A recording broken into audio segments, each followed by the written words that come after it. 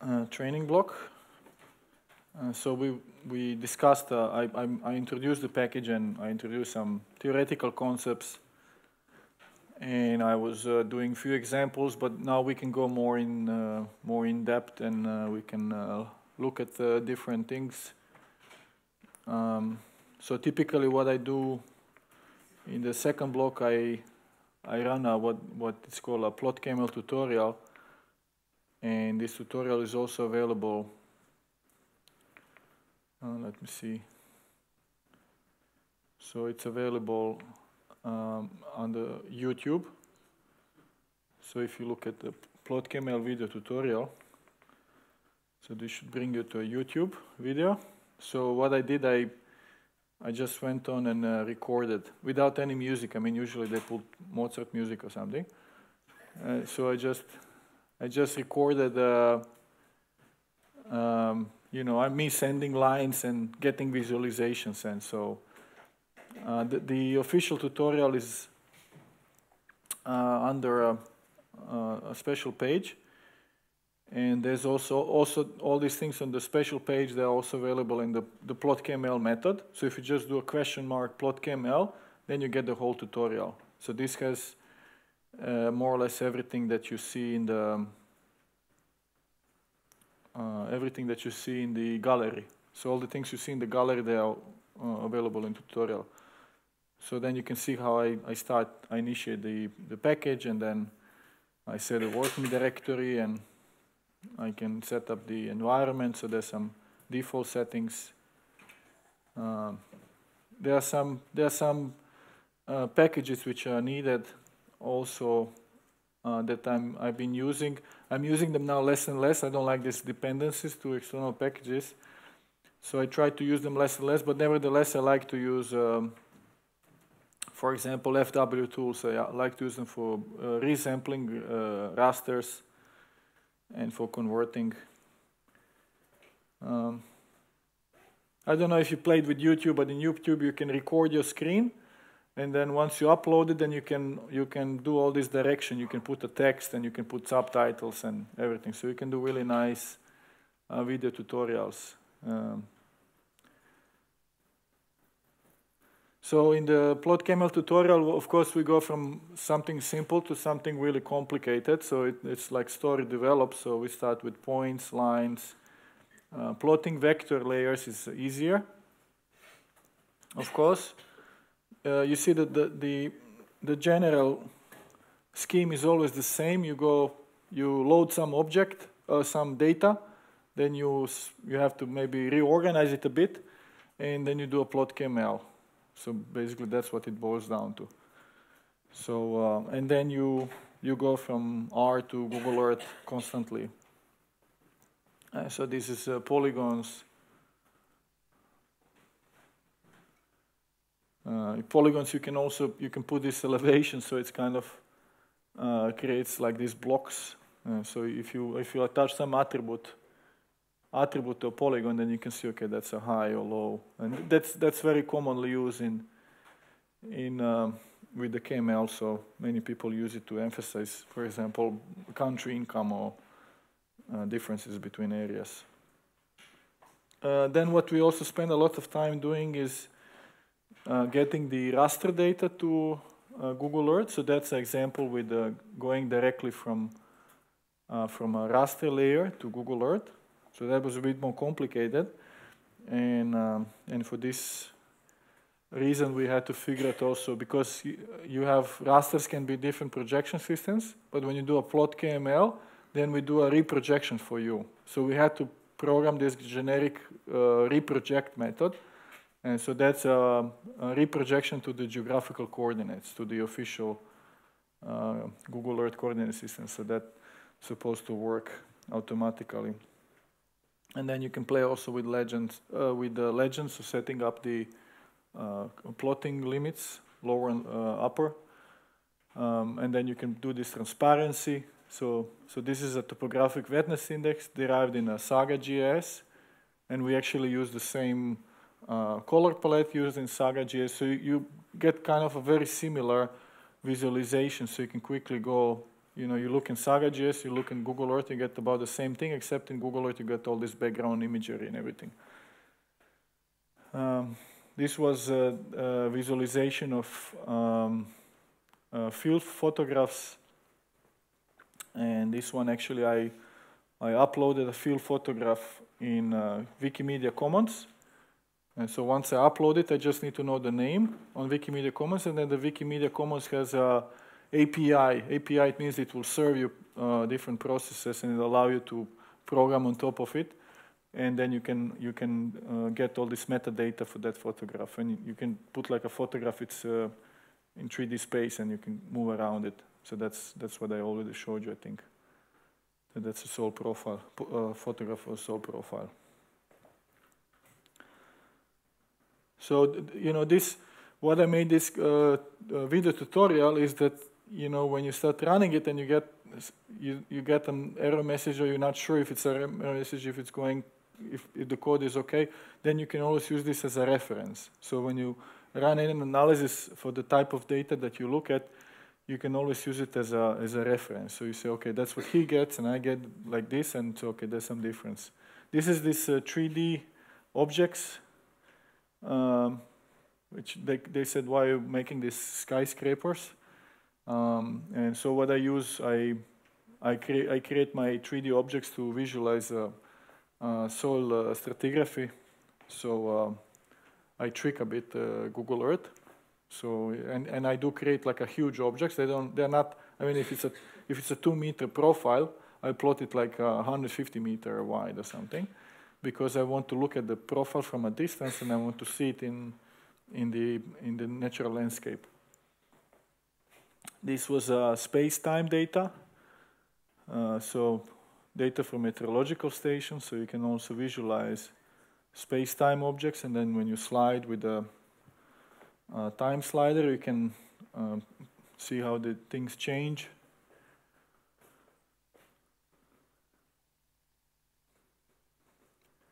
Uh, then also you can have a space-time uh, rasters.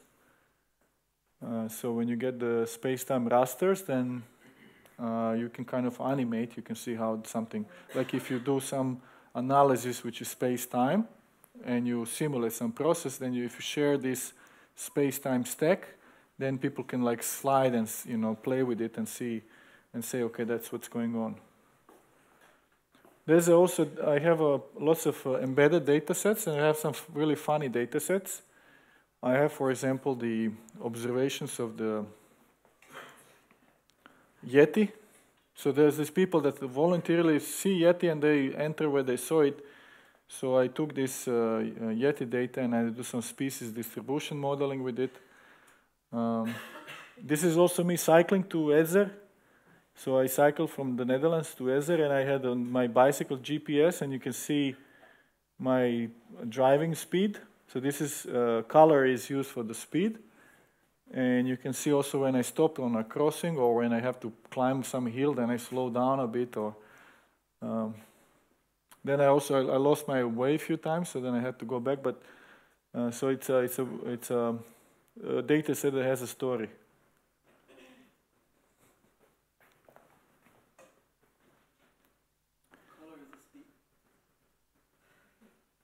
Uh, color is the, so red is uh, faster and blue is slower, I think. That's the geostatistical mapping. I think uh, last one is, uh, this is one uh, sampling. So this is to do equal area sampling. And again, you can play with transparency, so you see where the points are going to fall and if there's some problems. So you, you know, you create a sampling plan, but you can validate it quickly. You know, if the sampling, if the points fall on the street or um, if they fall in the water, you say, okay, now I have to have to go back and fix that. So uh, so that that was the the PlotKML. Yep.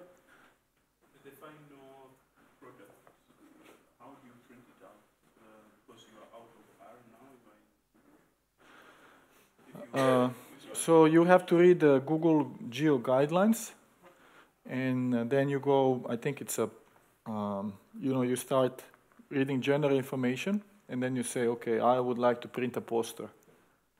Okay, so I want to print a poster which has a, a screenshot like this. You see, like this screenshot. They say, I want to make print a poster. And then you have to go and then they ask you, okay, is it for, uh, I don't know, commercial purposes? How many copies you're going to print? Da, da, da. Then if it's for commercial purposes, most probably you're in um, you will be in a situation where they will send you a bill. Okay? Uh, if you say, well, I'm, I'm doing a research and I'm a scientist and um, I want to show it on a conference, then I, am I'm, I'm not like 100% sure, but 99% that it's no problem. As long as you do it, as long as you save the screenshot from here. So if you say save, save image, if you do it from here, that's what I recommend, because then it will have all the copyright signs. So if the copyright signs are there, then I don't think they will make a problem. That's, that's what I remember when I read the, uh, the geo guidelines maybe two years ago one year ago. But you know, these things also change. You have to check.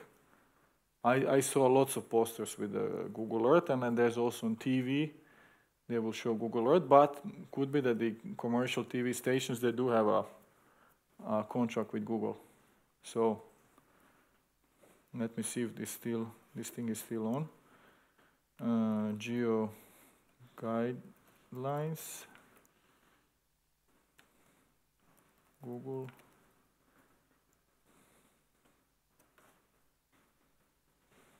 Geo permissions, yeah. And so, so, so here's uh, use maps in print, on the web in the applications. So using maps on the web, I'd like to use your maps on my web, what do I need to know? And now you have to read. Yep. Okay, normally, uh, as far as I remember, the you know, of course, also these companies, if they don't make it very clear, they have to have us like a summary. We're not lawyers; we cannot read like 30 pages every time we need something. So I'm pretty sure they also have some um, some summary that explains the basics. Let me see this one.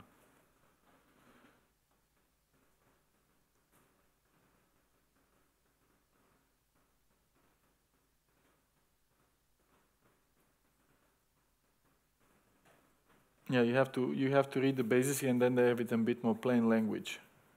Uh, what I remember was like if you save it, if you save an image from Google Earth, and if you uh, use it like for a conference, for a poster, or something which is not commercial, not a commercial application, it shouldn't be a problem. Okay. But if you have a company and you want to, uh, let's say you make a, a book that you're selling and you want to sell that book, then uh, I guess there is a copyright issue.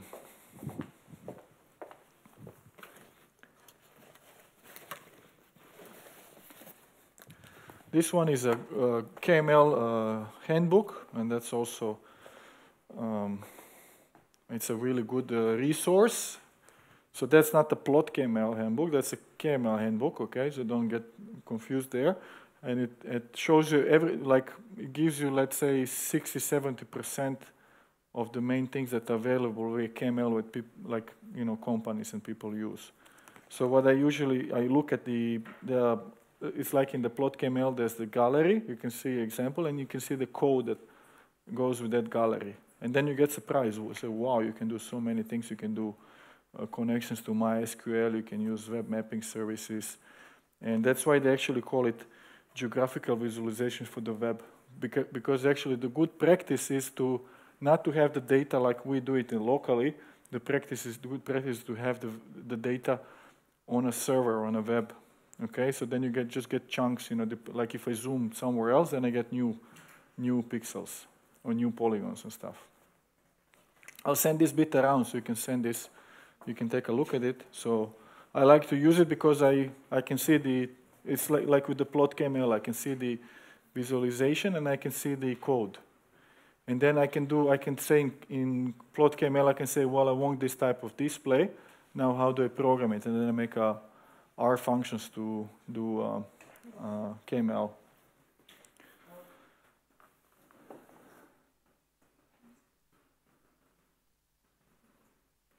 Okay, so what I want to run now uh, with you, and I'll open the RStudio because I think that's what most of you are using.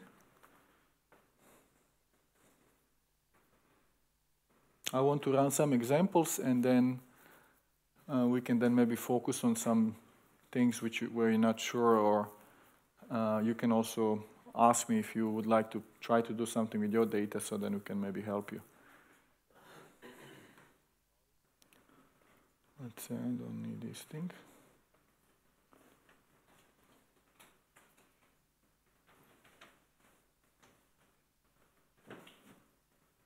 So I'll open a, I'll start with an empty script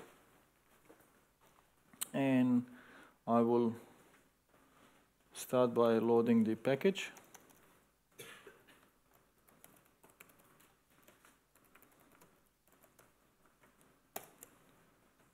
So here I load the package.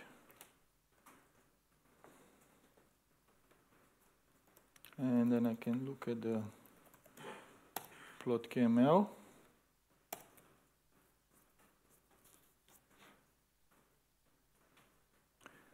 and there's all this code. All this code here so that's all the things we can run. There's lots of examples so we, we don't have time to go through everything. So I will start really gently and so you can follow that. And then you can go and um, you can go and look at the uh, more detailed examples. The, the complete really complete R script with all the demo it's available in the installation of of plot plot.kml, so I have to go to my R installation, and then in library plot plot.kml, there is a demo, and you see it's called also plot.kml.r, so that's the complete, uh, complete R script. So these are the these are the things you find in the gallery and um, and, the, and then there's also explanation. So you can follow just the code, but you can also read the text that explains different things. So here's the uh, no, DokuWiki. I like using this DokuWiki because it shows you not only the code, it shows you the output, it shows you the plots, and also it will automatically embed all the help documentation, it will embed links. So if I, if I go say, oh, okay, what is library? And then it will point me to the documentation for functions. So that's why I like to use this DokuWiki. And so, sorry?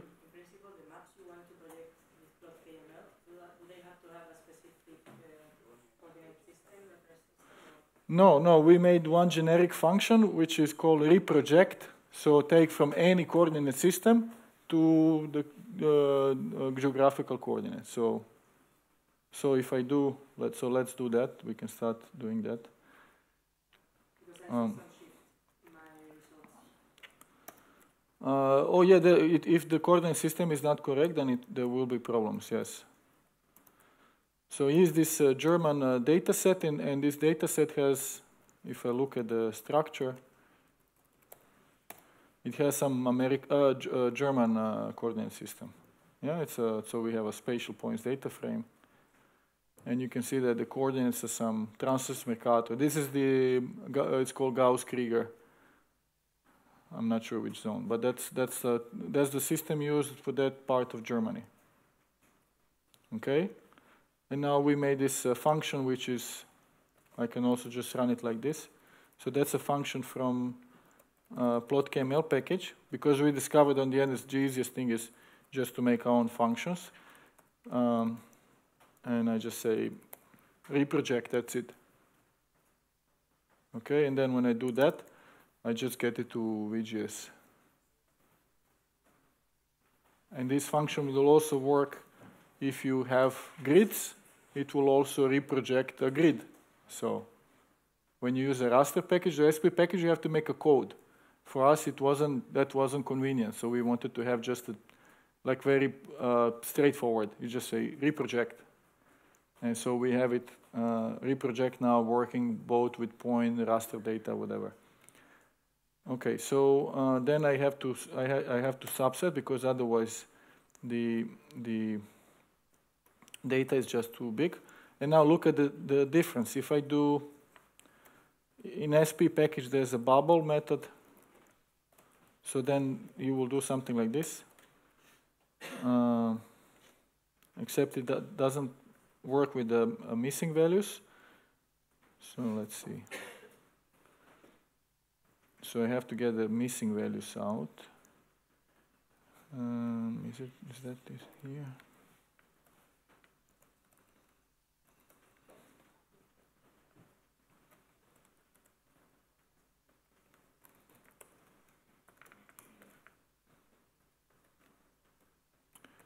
It should work.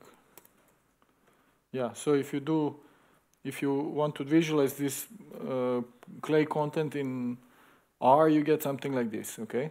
So that's fine. I mean, you know, it's a, it's a correct plot. Maybe I will turn the legend upside down, flip it. Oh, yeah, sorry.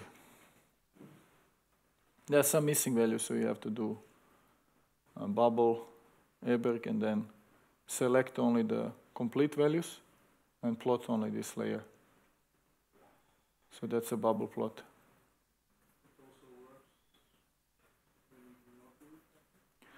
Well, because you see I here randomly subset, and I randomly subset, you randomly subset, we get different subsets. So your subset might work, mine won't.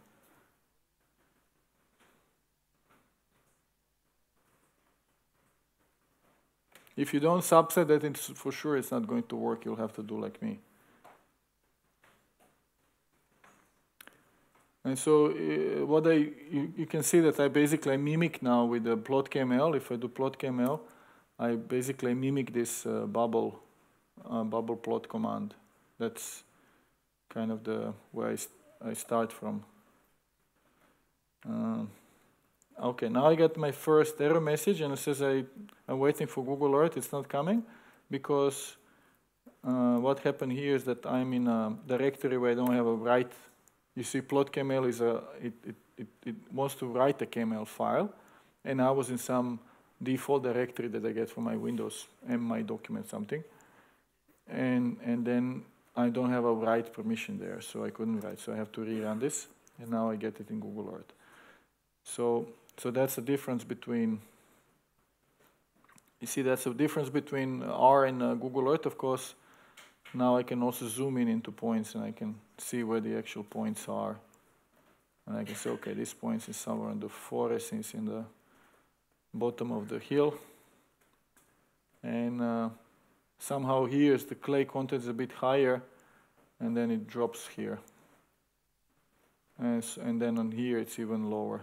So somehow the is it? Yeah, it's a clay content. It's it's lowest here at the, the bottom of the hill. So it's interesting.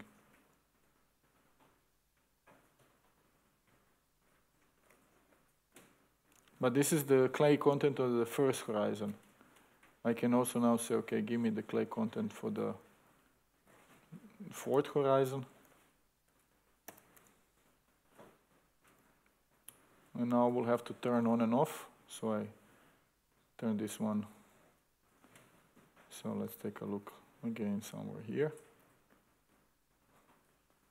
So now I have, here is the first horizon, uh, sorry, here is the fourth horizon, and then I turn on the first horizon. So things quite, they change a lot going from the top horizon to like the fourth horizon.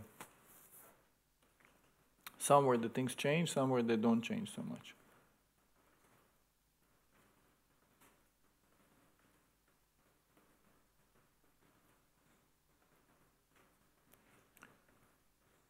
Okay, if I want to really get very similar plot to the one that I have seen uh, in R, then I have to play with this color, color scale. So I said the color scale.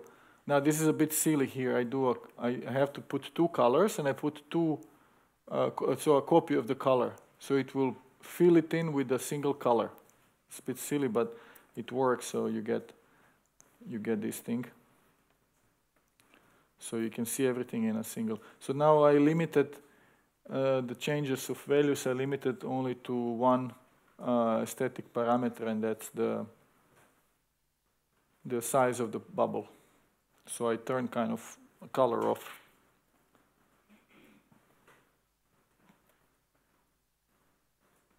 This thing allows you, I mean, you can quickly see that there's a spatial autocorrelation, right? I mean, if you look at it. And there's also correlation with the landscape. So this allows us to kind of try to understand that there are some correlations. If I look, for example, at, so I'm skipping a bit now uh, here.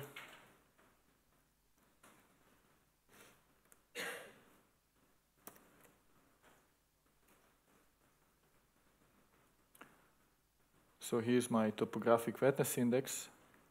And now I want to know, hey, is, is clay content correlated with topographic wetness index? So I'm looking, I'm looking if the small values, so the small bubbles, only happen where I have a, a red or if I have blue. So what do you think? Is it correlated? What do you think?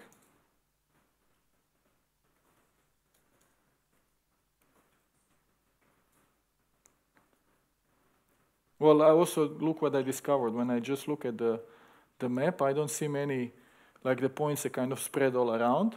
But now when I derive like a topographic wetness index, I see this blue color is being systematically undersampled.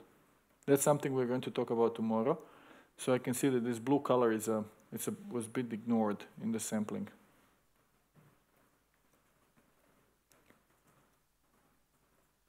So uh, to be honest with you, I don't see really correlation between background raster and the values of the clay content. I don't, it's not clear to me. I don't see a clear correlation. So we have to put some other layer. Let's try the, the, the polygons.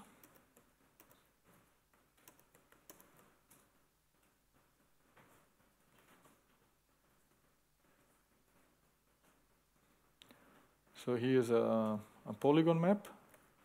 Aha, uh -huh. polygon looks like looks like in this polygon we always get we always get lower values. Can you see this? This polygon. Kind of in red polygon we always have high values.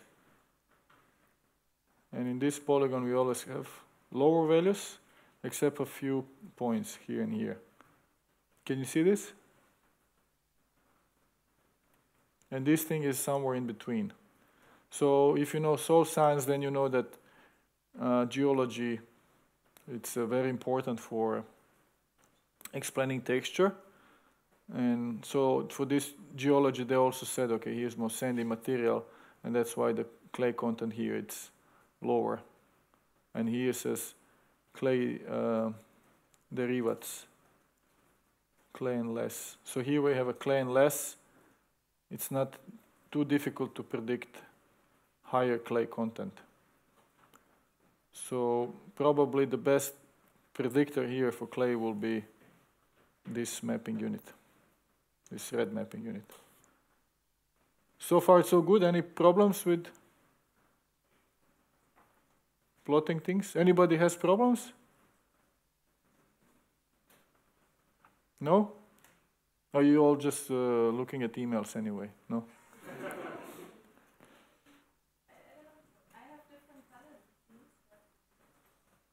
Uh, slightly different or completely different? If you're running the same code, you should have just slightly different colors.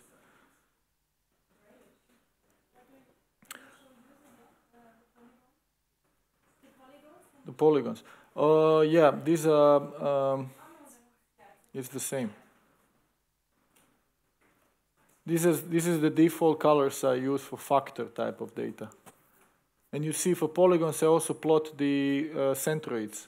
I plot them by default, but these are all my choices. I mean, I, I made those choices and you can go around them. I mean, it's not a issue. But if you just use plot KML on any polygon, you will get also centroids.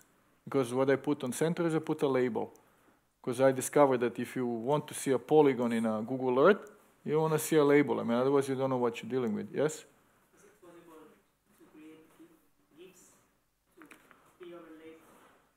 Yes, you can make animations, and you can open animations in Google Earth. Uh, it's possible. There were some glitches before, but I think they solved it. So. Yes, but it's much nicer. Like, oh yeah, by the way, this is a KML also in OpenStreetMap. You can, if you put it somewhere, you can also uh, open it in. Uh, or you can make like a uh, in a website embedded code. So you put a KML and, uh, but but it lost the colors. So that's the KML I produce in Plot KML, and then I open it in OpenStreetMap, but I lose the colors. I do get the labels, but I lost the colors. So things like this will happen, so be ready for that. Now, for the animations, what I prefer to do for animation is uh, something like this. Let me see, where was it?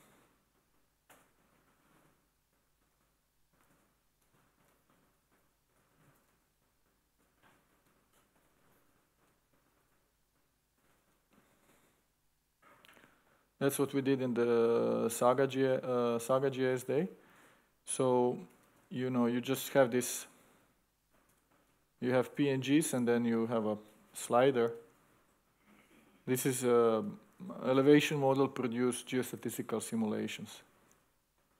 And you can even put a plot, you can put a plot over Google Earth that shows how the values, values change locally. So for this cross section, this white line you see here, see this white line, that's a cross section. And for this cross section, you can see how the values change for 10 simulations. So you can animate nicely with Google Earth, of course, and you just have to you have to create a stack of uh, PNGs. So these are different simulations. See here. And then I do a, I, do a trick. Okay, I mean it's. Uh, I don't think when they made this uh, time slider and people that developed Google they never thought, okay, that will be something where people will use it for visual and statistical uncertainty. But why not? I mean, I attached some silly dates. So the only thing I, I, I have to say, okay, this is year one, two, three, whatever. So I attach some silly dates. And you can see that, uh, or, or I use the default date when I release the software first time, and then I just put day plus one day, second day, and so on. So there are some um, dummy dates, and because I don't use this to share a space-time data, I just use it to visualize the uncertainty in digital elevation model. Because all the displays there, the legend is fixed, so the only thing which changes is the uncertainty of the values. And you see how the pixels, they dance a bit, right?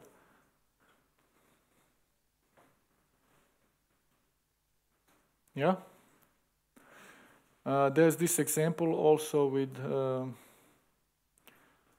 want to show you this thing with the point pattern.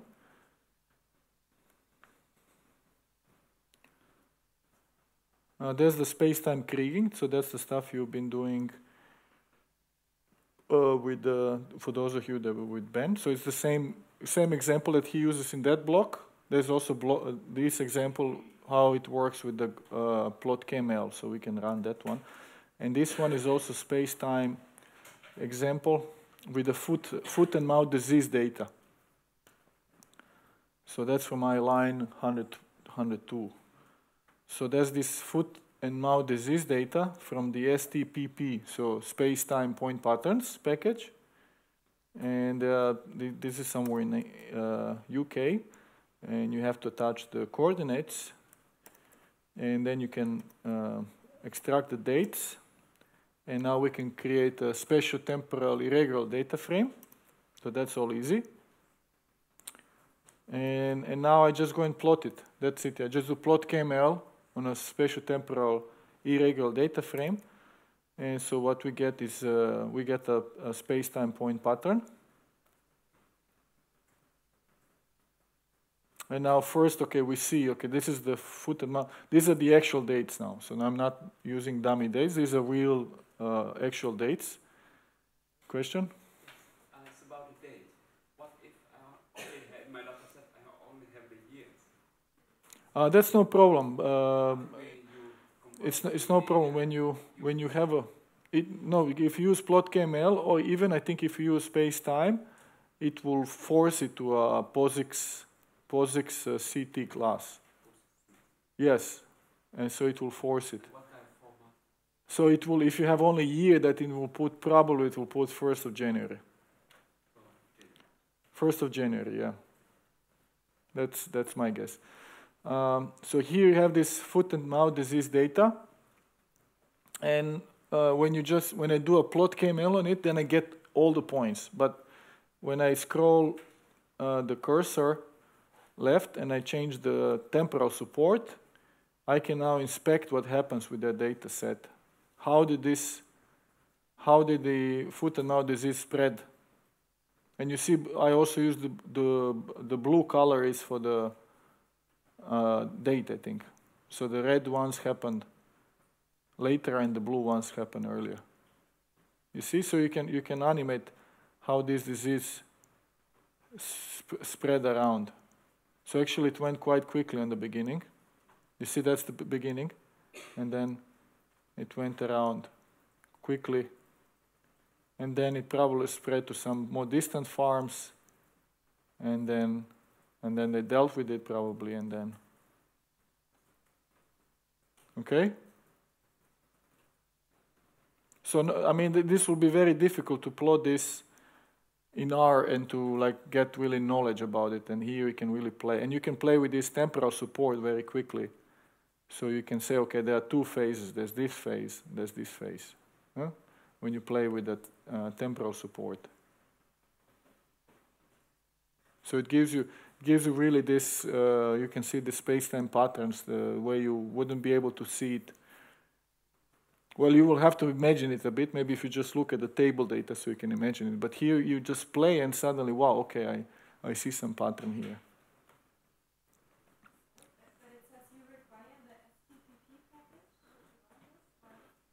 Yes, you need to install it. So install packages STTP P. Yes, it comes. All the plot.kml examples are the data sets are in the packages. And there's maybe 20 datasets here, but they're all in the packages, yeah. Makes, very, makes this tutorial very portable. I just send you the code and, and then you get, you get the packages. Let me, let me see this kriging. I don't know if it's working because actually Ben, ben made this code. Ben also started contributed to plot.kml. Now this is the uh, space-time kriging but I didn't check it for some time. Let me see it's going to work. Yeah, it works. So, and this is just uh, uh, space-time kriging for uh, three dates. And so you can visualize them in, in R like this. So when I do just ST, ST plot, so you have a SP plot, ST plot. And then if I come to uh, Google Earth, then I just do the same thing, just uh, plot.kml, and we get the we get the uh, predictions. I do have to turn off this Ebergötzen because it's somewhere in the back here. And, and, and then you can see, okay, we really took, we just took uh, three predictions and the pixel size is huge. Pixel size is huge. I mean, the whole, whole Germany is like 30 pixels.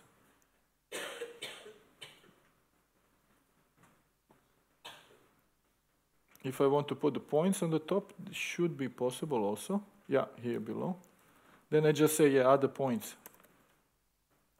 And now we see both the points. And now if I scroll in space and time, I can, I can see how the predictions change and how the observed values change.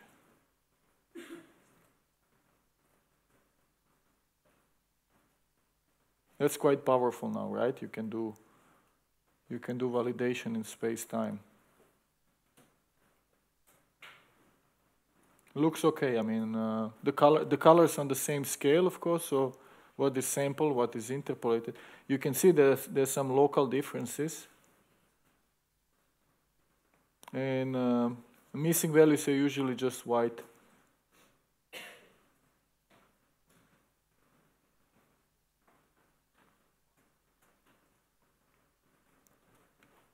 Did you manage to run this? The space-time kriging?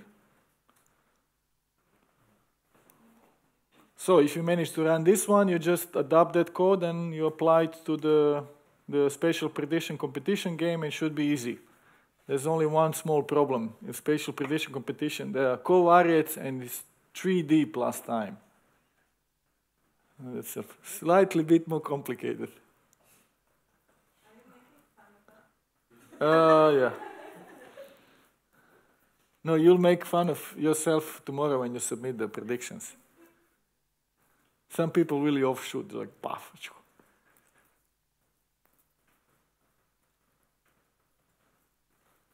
Who is planning to submit, by the way? One? Yes? Try, good. You never know. You just do something, you know, uh, calculate how much time you have left and just go for something simple and, you know, so that's the best, the best I, I managed to make. Yes, you are going to apply also? No? I'm having problems uh, installing the package itself.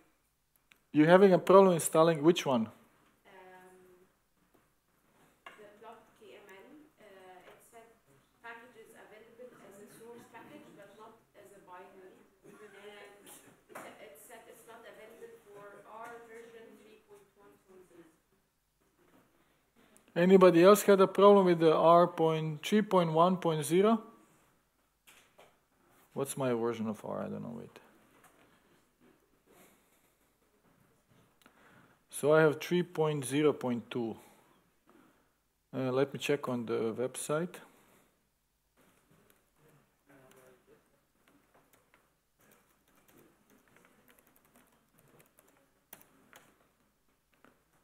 So it says here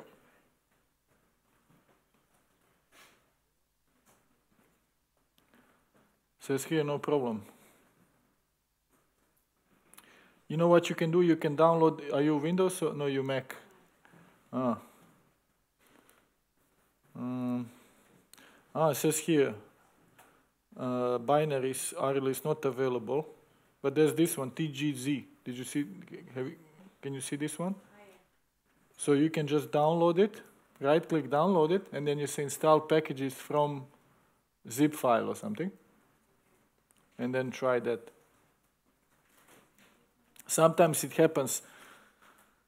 Yeah, there's a usually with the R and, and Mac there there will be problems. Yeah.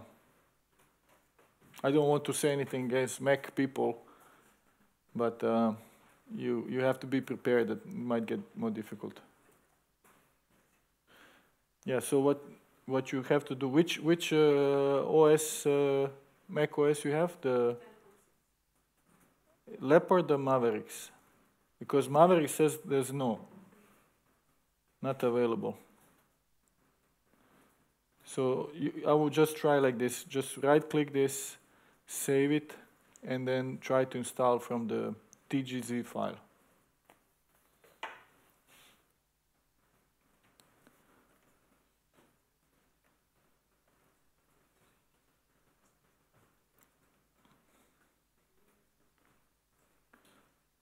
Okay, so that was the space-time Kriging.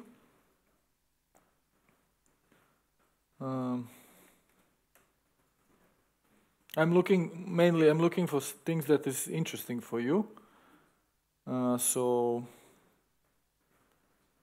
this one we did also. Oh yeah, this was this was with the spatial sampling. So there's this SPCOSA. So that's a package uh, made by a colleague from Wageningen University and it allows you to do um, equal area sampling. So, so if you have some, let's say this is a, you have some farms.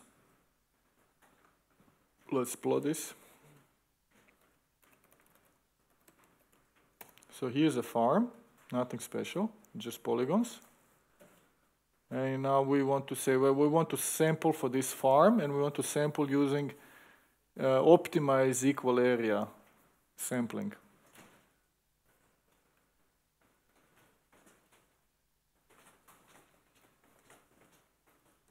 So then we go, we create the uh, stratification. This is equal area stratification. And then we can say, well, we want to sample two points per each strata.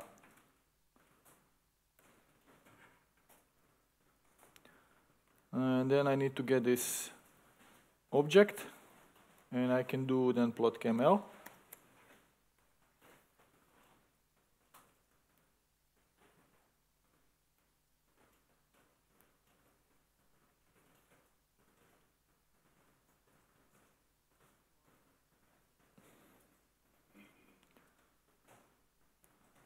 So this looks nice. I mean, I can uh, I can now see directly the output. So you see there's this uh, optimized uh, location of the strata, and then it's randomized within strata. But I could also say I only want, let's say now let's recompute it. I said I only want a one point per strata So I change this thing here. And the rest I just rerun.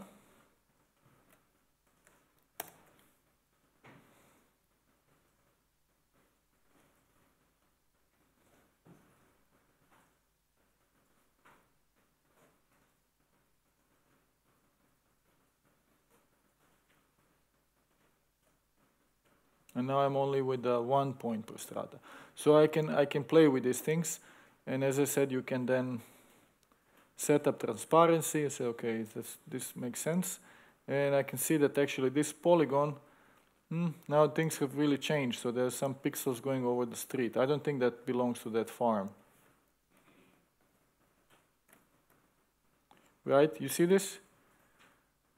So maybe that shape file that they prepared for this data it's, is a bit outdated.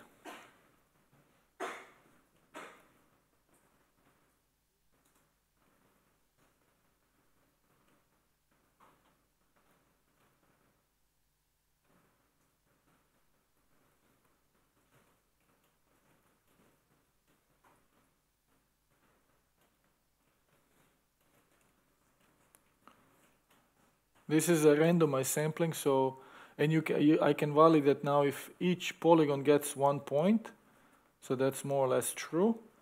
So that's kind of it's a it's a um, randomized sampling, but I get a, a, maximum geographical coverage.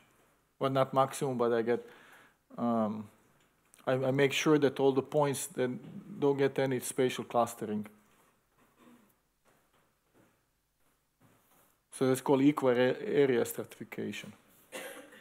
And actually also the size of these polygons is created based on the of the um, this shape outside.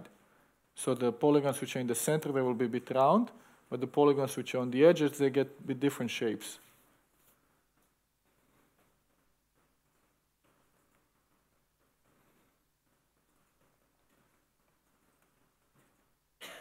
This is this raster brick simulations.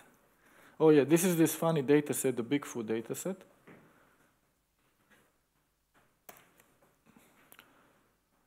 You can read about this data set. It's, it's quite, um, I think it's quite educational to use um, not so serious data sets.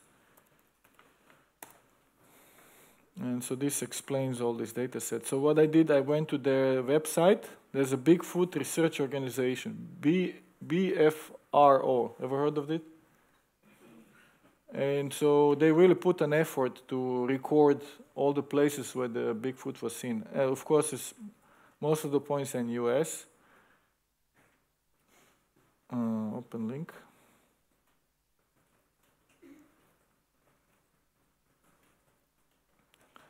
Where did we go? Copy link. So here's the website. And what I did, I went, and so here this all this occurs. So what I did, I went there and I downloaded. This actually it's really well prepared. I mean, it's a really nice website. And I download all the occurrences of um, recorded occurrences of Bigfoot. And there's even uh, uh, quality categories A, B, C. I don't know. So I took only the A. I mean, so it's uh, higher. They were really certain it was it was seen there. And um, by the way, some guys in there was some uh, Siberian conference. I put it in my note. According to Time.com, a team of, of a dozen plus experts from as far afield as Canada and Sweden have proclaimed themselves 95% certain of the mythical animal's existence is in Kemerovo region territory, some 3,000 kilometers east of Moscow. So, yeah, 95% certain. That's almost, it's really highly certain. So, and there's a one, uh, one uh, the group of colleagues, they did actually uh, uh did Maxent analysis with the with the Bigfoot, and they mapped the um, areal and niche of Bigfoot. I, I, uh, they, when they made this paper, they didn't, uh, you know, they didn't uh, give access to the data set. So I wanted to reproduce that example from their paper, and I finished doing everything by myself. So it's a reproducible research, but you have to reproduce everything. Yeah. But nevertheless, now if you want to test some new ecological um, algo- uh, niche modeling algorithm, then you can just take this uh, Bigfoot data set and if you teach it to the first or second year university, then the people get really interested, right? That's how you can trick uh, younger people to get uh, high interest in the spatial analysis. So here's this Maxent. I'm not sure if this is going to run because you need to download the Maxent um, I don't remember if I have it on my laptop. No, I don't have it. So I have a new installation. But you have to download the Maxent, and then if you run the Maxent, then you get then you get this thing. So that's the, the Bigfoot output.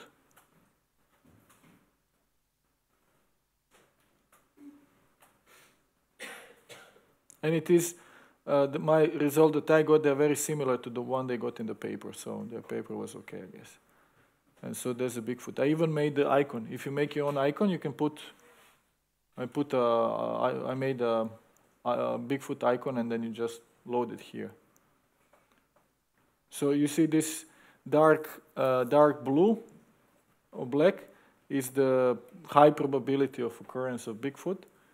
Um, I use some some seven. So these are the covariates. So there's a, a carbon above uh, ground, and then there's the um, land cover classes, topographic wetness in distance to roads, elevation, and um, um, uh, lights at night. So is it close to towns or further from towns? So it turns out to be mainly co correlated with dense forest. So we have a denser forest, you have more Bigfoot. Looks like the Bigfoot is occupying USA. It's like it's like when you play with this uh, uh, uh, war games or something. You put soldiers here. And it's Bigfoot. Oh yeah, this is this is the this is from the the, the Bigfoot uh, occurrences. So that's that's where they claim they saw the Bigfoot.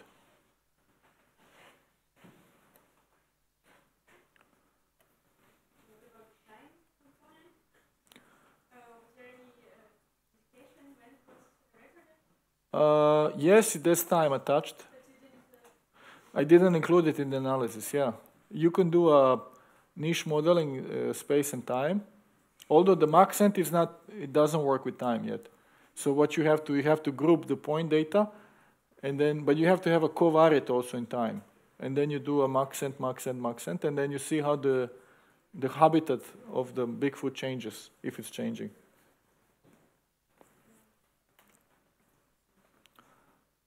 Well, good things for, for uh, good news for California, that's not so much Bigfoot. I think it's Washington State. That's the, really the Bigfoot state.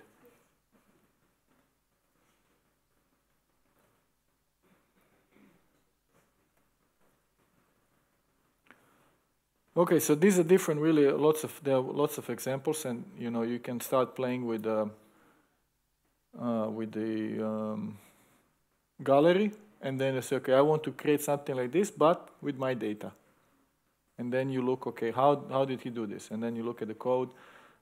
if the software is good, of course, the code should be short. This doesn't look so short. Um, this one looks short. I mean, I just go, let's try this one.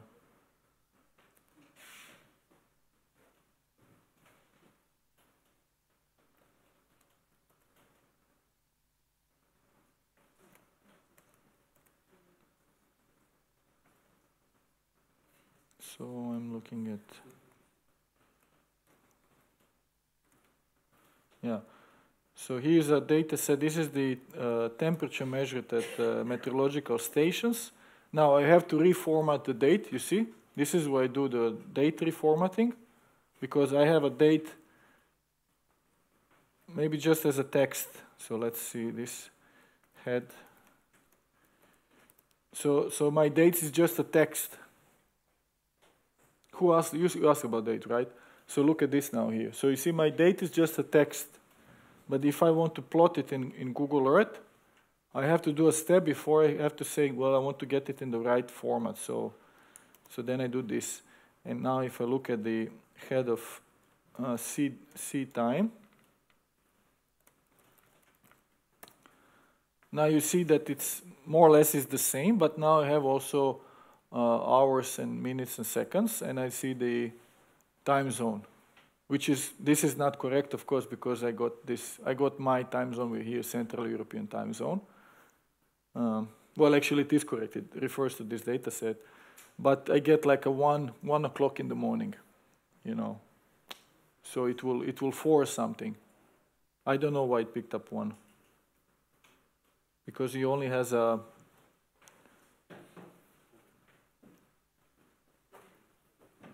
he only has a um, uh, day.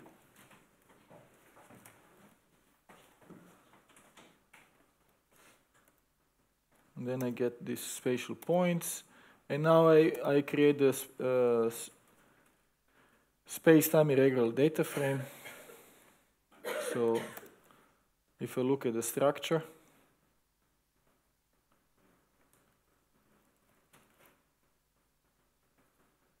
let me see the structure. It's this is uh, objects. They, they're, they're not so easy to read, if you ask me. So you see, you have the data frame, and there's the SP part, because these are fixed locations, and then there's the time. But then there's an extra list, which is the index or something.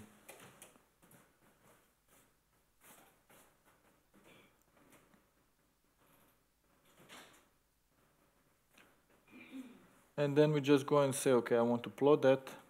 There's too many points. This is 56,000 points, right? But it's only, there are only, um, what is it, 150 stations or something. But I get 56,000 points because this is whole year, so 365 by 160 something, and you get 56,000. So you have lots of, when you work with the space-time data, you know, spatially you don't have so many points, but blows up and then imagine if you had a different depth also, and it just blows up. You easily finish like with million points. But then somebody asks you, how many points? Have like one million. But you only had like 50, 150 locations. Yeah, but you know, you measure every day, and if you have 365 days, and then if you have different depths or whatever, and it blows up. So I cannot visualize all that. So I said, give me first 500, and then we can do a plot and then we get this thing.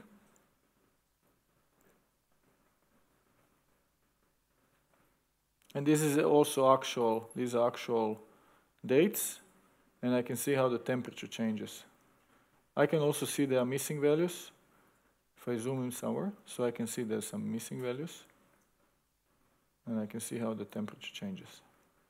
But the important message is that, you know, you can visualize it and you can do some interpretation.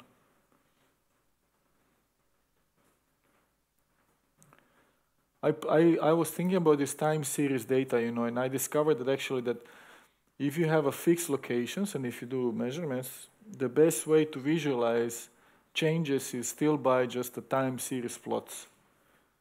So if you look at this example, uh, so that's here. Raster, raster brick time series. So if I visualize this thing, and so now I have a time series of rasters. These are the MODIS images, MODIS, MODIS temperature, temperature images. And if I visualize these rasters, I can see the, the changes. That's nice, right? But you, you know, it's difficult to like, it's difficult to visualize in your head. Okay, what what's really going on here? I mean, we see okay, at some areas it's a bit warmer than the other, and then it gets cooler. Obviously, the mountain tops are a bit cooler. But then I put by automatically, it will also create this. So when you click on any point, any point that you put in this uh, raster brick time series, um, PlotKML will calculate this time series plot for you. So you can see how the temp daily temperatures, so, uh, so these are the temperatures from the MODIS, MODIS images. And you can see that there's, in MODIS images there will be some missing values, and you can see that there will there might be some jumps. This is the eight, eight day MODIS. And so you see there's quite some irregularity in the that within a week or something you can get a bit cooler period and a warmer period. So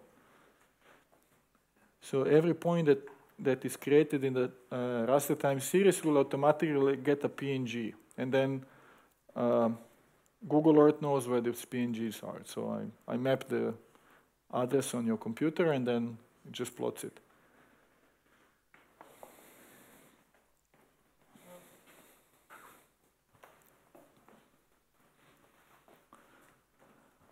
Okay, okay. Do you have any wishes? Do, would you like to see me visualize something?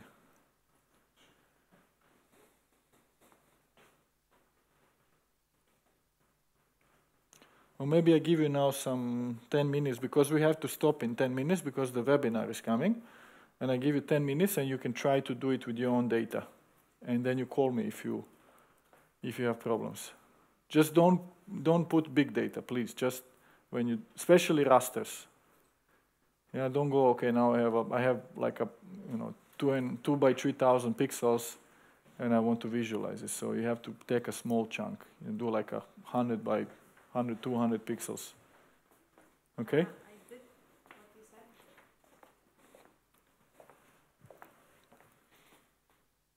Um, this is the same package has, has this, the same problem, but when I Hmm. write library, it's same error.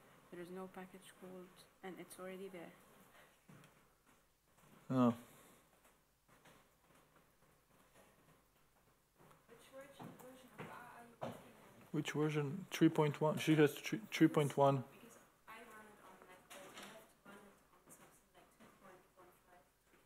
not supported for the newest versions. Okay, so I go and You no, need an older Oh. Yeah. Yeah, that's what happens is that um, for Mac there's always a bit of delay, look.